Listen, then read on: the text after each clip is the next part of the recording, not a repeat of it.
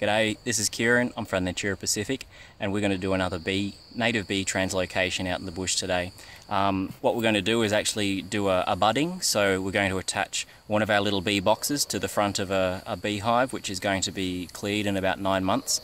Um, in nine months time we'll come back and translocate the, the, both the budded box and the, the beehive from the hollow. Uh, but we're just going to go through the process of, of doing the budding. So here's our little beehive. You can see a couple of bees coming out there's also um, some termites here. Uh, quite often you'll find the bees and termites living in association with each other. Now our ecology team have come through this area of bush and we flagged this beehive for translocation when we identified it out on site. And uh, what we've got here today is our equipment down here. We've got our beehive which we're going to attach to the front of this hive uh, we've got a polystyrene box and we've got to drill some brackets, gaffer tape, marker pen and uh, drill bits. What we're going to do is use our bee box, which is our, this is our front entrance here. And what we've done is we've drilled a hole in the back and we're going to attach the back of the box to our log. And we're going to use this shower rod holder and attach it here and then put a little pipe from here to the actual hollow where the bees are. And what will happen is the bees will come out of the tree and in through the pipe into the back of this box. They'll realize there's a nice big empty cavity in there. Um, they'll fly out the, the front and they'll actually start building a new hive in here.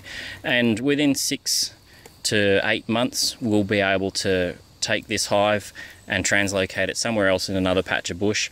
And then this log here that has the first hive in it we'll come and translocate that as well. So we'll end up with two hives that we're able to translocate.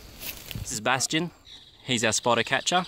And so he's just going to attach some of these parts to our little beehive and we'll go through the process of attaching it to the tree.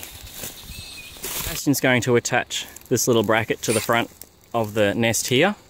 And before we did that, um, Bastian pulled this wax off the front. And the reason he did that is because we'll attach it to the front of our new box and when the bees come in and come into land they'll be able to smell this wax and they'll realize that that's their entrance or they'll think that that's their entrance and they'll enter through here and end up crawling through the empty box before going back into their hive. So Bastian's just put the brackets in. As you can see, there's a little, there's the little tube so they'll go from the tree here through the tube and then out the front of our entrance. So what we're going to do now is just put the wax on there so that they get the smell of their entrance and then we'll put the polystyrene box over the top to insulate them and uh, keep coming back and checking them. So in our boxes that we build, up the top here, there's a, a layer of perspex so we can actually just unscrew this lid and check on them without disturbing them and uh, be able to look at them through the perspex. There we go, our bee box is installed, translocation is complete, and you can see the little bees are flying in and out of their new entrance already. So that's a great outcome.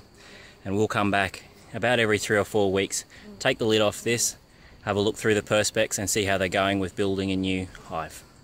So if you want to follow this story of this little beehive or learn about any other spotter catching work that we do at Natura Pacific or any of our other fauna or flora surveys, click on the link below and get in contact with us.